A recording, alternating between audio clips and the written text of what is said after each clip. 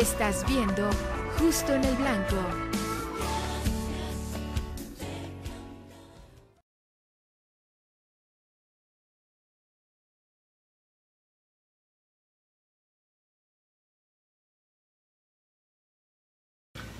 Amada iglesia, reciban un cariñoso saludo, pero más que nada, bendiciones de parte de nuestro Señor Jesucristo, nuestro Dios.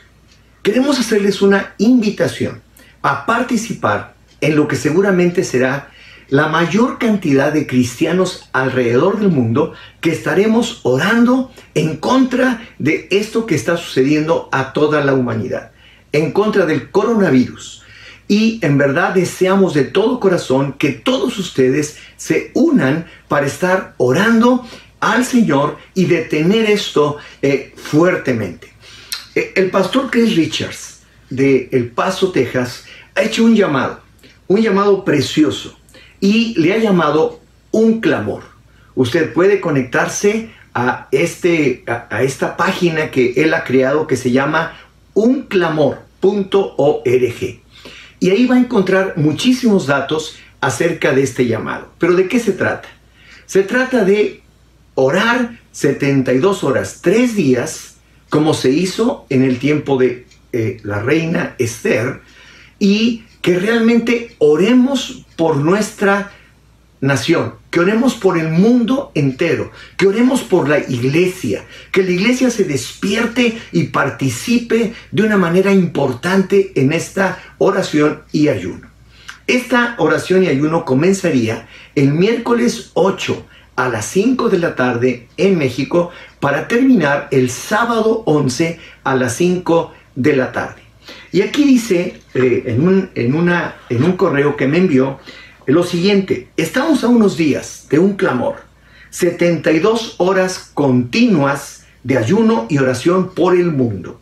Gracias a Dios, más de 130 pastores y líderes de ministerios se han unido a este crucial esfuerzo, desde Israel, Francia, España e Italia a las Américas. Más de 20 naciones estarán representadas. Es Dios quien nos llama a este ayuno y oración.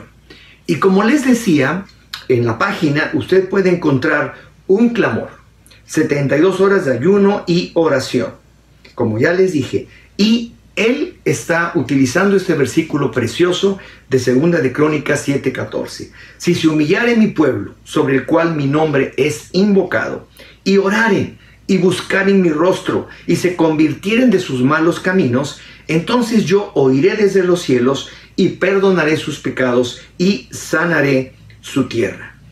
Continúa diciendo, estamos viviendo tiempos históricos y para este tiempo hemos llegado.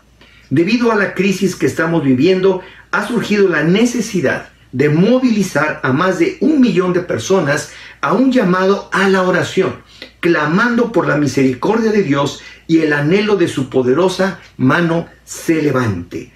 Y menciona los países que ya están participando o que van a estar participando, México, Venezuela, Colombia, Estados Unidos, Argentina, Bolivia, España, Italia, Perú, Guatemala, Panamá, Uruguay, Chile, Costa Rica, Honduras, Ecuador, Nicaragua e Israel, aún hasta Israel.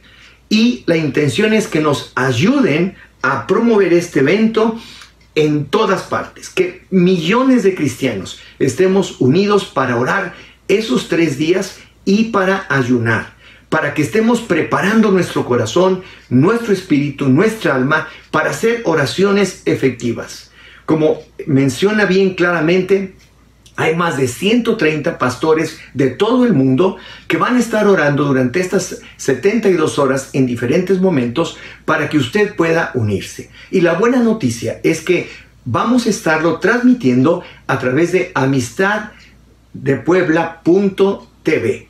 Y usted podrá conectarse a la hora que quiera para orar el tiempo que desee y con su familia en casa lo puede estar haciendo una hora, dos horas el día que usted lo disponga o todos los días como mejor le parezca. Aquí lo importante es descubrir que la oración que se hizo en el tiempo de Esther, también como la oración que se hizo en el tiempo de Nínive, fue tan eficaz que definitivamente Dios trajo una bendición tremenda y paró en seco cualquier mal que viniera sobre esas, esos judíos y también sobre Nínive. Así que vamos a orar, vamos a unirnos en este ayuno y oración y esta es la invitación para que usted también se una con nosotros, llame a otros cristianos, eh, mande esta, esta invitación a otros para que millones, literalmente millones, al mismo tiempo podamos estar orando 72 horas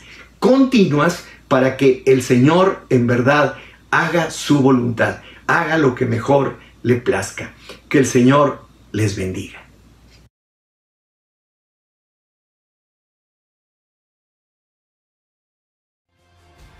Ya vuelve justo en el blanco.